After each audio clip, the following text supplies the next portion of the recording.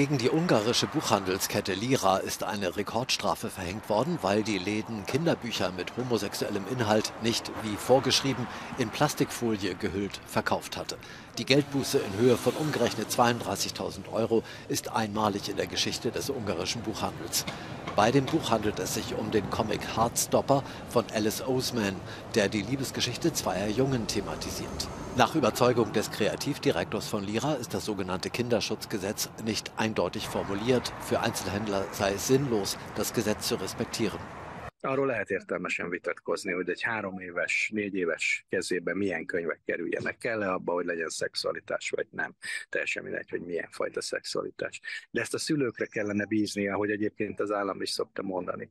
Ehhez képest most az állam maga akarja eldönteni, és az pedig teljesen életszerűtlen, hogy 16-17 éves fiatalok helyett valaki más dönteti el, hogy mit olvassanak. Der Kreativdirektor kündigte an, dass die Lira-Kette alle ihnen zur Verfügung stehenden rechtlichen Mittel gegen die Entscheidung einsetzen werde.